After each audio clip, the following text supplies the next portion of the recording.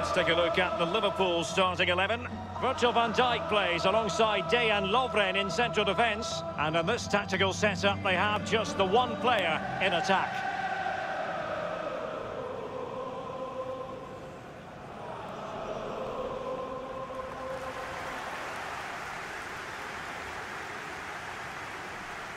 This is how the visitors will set up today. The tactical battle is going to be highly instructive. 4-3-3 on one side and 4-3-3 on the other, Lee. Well, when you match systems up, it's all about individuals. Who can get the better of the player you're playing against? And in this formation, certainly the wingers are going to be key on either side. And the lone striker, when the balls come in the box, he needs some support from one of those three midfield players making runs into the penalty area. Given away. Sadio Mane now. And attempting the through ball. And Mane. Well, can he make this move count? Back from the byline. Corner awarded to Liverpool.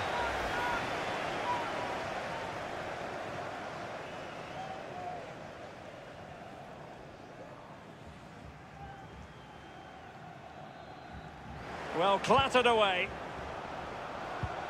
James Milner. And the post, Divock Origi! And a goal it is, the opener in this game. Well, keep it tight, that's what both managers would have been saying. But now the opening goal's gone in. Tactics have got to change. Well, you tell youngsters in that position just to hit the target. You can't score unless you do. And on this occasion, he does, and he scores. A chance to revisit the goal.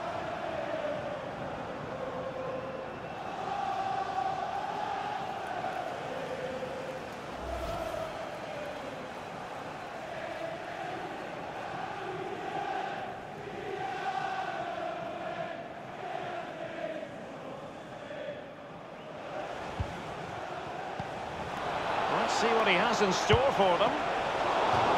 And it's gone behind for the corner.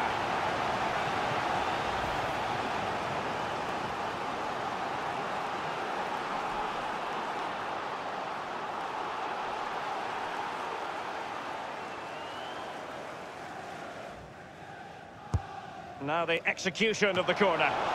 Still alive. Well, they had a decent reading of that ball in.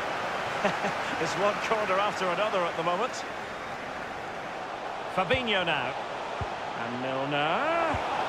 Can he put it away?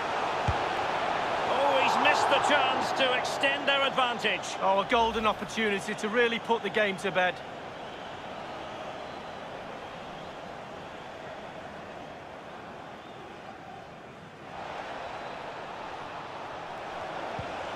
Now, what can he do here? This corner kick might help them.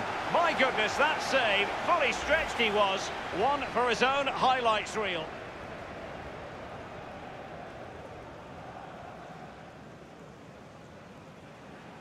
There goes the final whistle. And maximum points tonight for Liverpool.